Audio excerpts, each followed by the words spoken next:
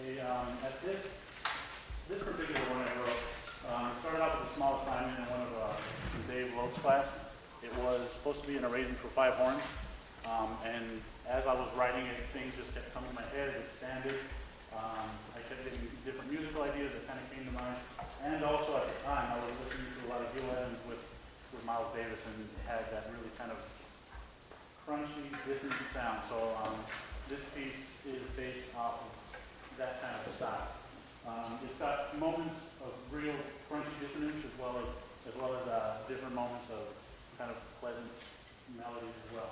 So it's also, I would say, kind of impressionistic, it's just kind of a wash of sound. There's only one main melody that kind of comes in at the beginning, and then it reappears slightly throughout the piece and then again at the end. Um, it will feature a Jay on soprano sax as well. And this one's called Enigma, so Enigma, for those of you who don't know, kind of unexplained things, mysteries, so kind of in that route.